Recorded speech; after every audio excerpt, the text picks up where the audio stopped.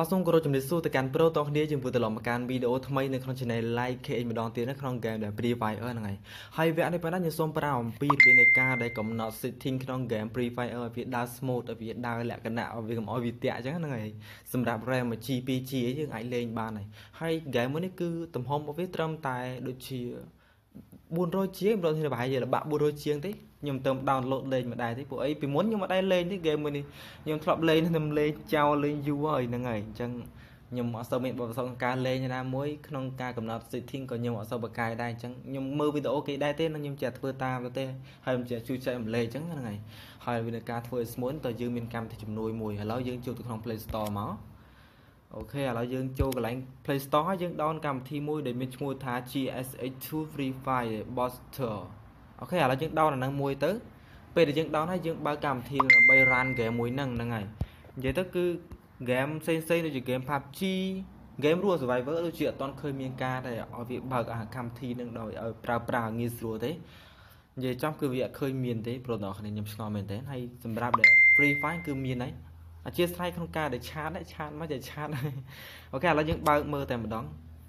ឲ្យយើងដឹងថាតើការប្រើប្រាស់វាយ៉ាងម៉េចអីចឹង អូខេអាកន្លែងនេះគឺសំខាន់ណាស់ព្រោះដល់គ្នាកន្លែងនេះគឺជាទំហំនៅហ្គេមមួយហ្នឹងបើសិនជាយើងដាក់9 690គុណនឹង440គឺជាទំហំមួយដែលអាចឲ្យវា smooth បានគឺវា smooth ខ្លាំងមែនទែនយើងជ្រើសរើសយកលើមកតែក៏មិនថាវារៀងដែល graphic វារៀងធ្លាក់បន្តិចហ្នឹងហើយតែវាមិនអីធ្លាក់ក៏ធ្លាក់ដែរសំខាន់យើងលេងទៅវាអត់តាក់អីចឹងហើយយើងដាក់690គុណនឹង500 540ហ្នឹងហើយនិយាយខលហូបទៅហើយឥឡូវយើងដាក់ហ្នឹងទៅអាកន្លែងខាងក្រោមហ្នឹងក៏វាសំខាន់ខ្លាំងដែរ so smooth ចង់មានន័យថាវាផ្ដោតទៅលើការ smooth យកតែម្ដងប៉ុន្តែបើសិនជាយើងចង់ដាក់ smooth HD ក៏បានដែរប៉ុន្តែវាបញ្ហាបន្តិចហើយវាចង់និយាយថា graphic វាតឡើងបន្តិចហើយអញ្ចឹងវាអាចមានបញ្ហាការតាក់អីចឹងប៉ុន្តែមិនបាច់យើងដាក់ so smooth ទៅយើងមិនបាច់ជ្រើសរើសអាកន្លែងដែល slick slick or skip ហ្នឹងទេមិនបាច់យកអាហ្នឹងទេអាហ្នឹង បើសិនជាយកអាហ្នឹងទូរស័ព្ទយើងវាសំខាន់វាវាតាមកម្លាំងទូរស័ព្ទរបស់យើងអញ្ចឹងដាក់ហ្នឹងក៏បានដែរប៉ុន្តែយើងចង់យកលក្ខណៈមួយឲ្យទៀបស្រាច់តែម្ដងយើងមិនបាច់ចាំនេះទេតាមពិតទៅអាលើនេះដូចវា recommend ឲ្យយើងអញ្ចឹងបើសិនជាទូរស័ព្ទរបស់យើងថ្មនៅខ្លាំងហើយកម្លាំងវានៅល្អវាដើរតាមហ្នឹងហើយប៉ុន្តែពេលខ្លះទៅវាអាចនឹងអ៊ីនធឺណិតវាអាចនឹងអីតិចតួចអញ្ចឹងបន្ទាប់អាសំវាទៅជា slow ខ្លាំងដែរប៉ុន្តែបើសិនជាយើងដាក់ smooth នេះវា director គឺថា smooth យកតែម្ដងហ្នឹងវា smooth តែម្ដងហ្នឹងអូខេឥឡូវយើងដាក់ទៅ smooth ទៅ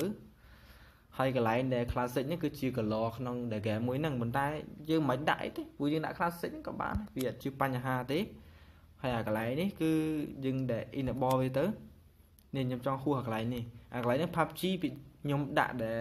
600 SP ហ្នឹងហើយ SPS ខ្ញុំដាក់60នេះជាស្រ័យផងខ្ញុំដាក់60ដែល SPS បើសម្រាប់ PUBG ប៉ុន្តែ Free Fire ខ្ញុំសាកដាក់ប៉ុណ្ណឹងដែរហ្នឹងហើយ មួយវិញទៀតគឺដែល Free Fire គឺវាបានបើកមួយមួយទៀតគឺវាឲ្យយើងកំណត់នៅនៅតែ version ទូរស័ព្ទរបស់យើងប៉ុន្តែបើសិនជាយើងអត់ដឹងតែ version របស់យើងប៉ុន្មានឬក៏ឃើញទៅវារៀងទៀបយើងអាចដាក់ recommend បានហ្នឹងហើយយើងដាក់ហ្នឹងទៅក៏បានដែរវាអត់ជាបញ្ហាទេអូខេហ្នឹងហើយដូចជាអត់មានអីច្រើនទេគឺអ្វីដែលយើងគ្រប់គ្រងនៅក្នុងកម្មវិធីមួយហ្នឹងគឺមានតែប៉ុណ្្នឹងទេហើយបើសិនជាយើងបានដែលកំណត់ពីម្ដងហើយវាជាប់ direct ហើយវាអត់មានកែទៅភាពដើមរបស់វាទេហ្នឹងហើយអូខេអាកន្លែងយើងអូសមកលើមកយើងជឿកន្លែងដែល remember my setting យើងចុចកន្លែងនេះមក remember my setting ឥឡូវយើងចុច apply វា approve វាទេហ្នឹងហើយខ្ញុំមើលទៅមកកណាត់បើសិនតែយើងដាក់ទូរស័ព្ទបញ្ឈរគឺឃើញពេញខ្ញុំអូសទៅលើក៏ដោយក៏វាប៉ុណ្ណឹងដែរហើយកន្លែងនេះតែខ្ញុំដឹងគឺគេដាក់ថា open game កន្លែងនេះចេញចុចអាកន្លែងប៊ូតុងពណ៌បៃតងទៅព្រោះតែនេះពណ៌បៃតងហើយបើសិនជាពេញចិត្តកុំភ្លេចចុច like អ្នកមួយមកព្រោះតោះគ្នាហ្នឹងហើយដើម្បីជាការលើកទឹកចិត្តខ្ញុំអញ្ចឹងធ្វើវីដេអូបន្តទៀត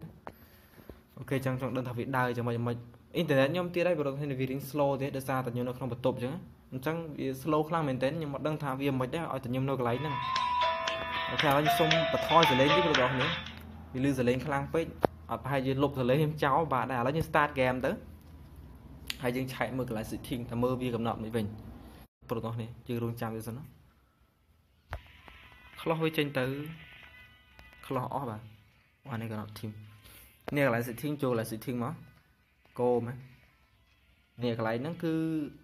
វាបើកំណត់ smooth auto តែម្ដងឃើញហើយប្រូទាំងនេះហើយយើងលេងទៅគឺ smooth ហើយវាអត់មានបញ្ហាទេទេហើយបើយើងចង់ដឹងច្បាស់ប្រូទាំងនេះអាចឆែកមើលវីដេអូខ្ញុំមកមុនបានហើយខ្ញុំនឹងធ្វើការបង្ហាញមុនមុនដែរហ្នឹងហើយអូខេណាវីដេអូនេះមានតែប៉ុណ្្នឹងឯងអរគុណសម្រាប់ការតាមដានវីដេអូមួយនេះជួបគ្នានៅវីដេអូក្រោយទៀតអរគុណសម្រាប់ការតាមដានសូមអរគុណសូមគោរពនិងជម្រាបលា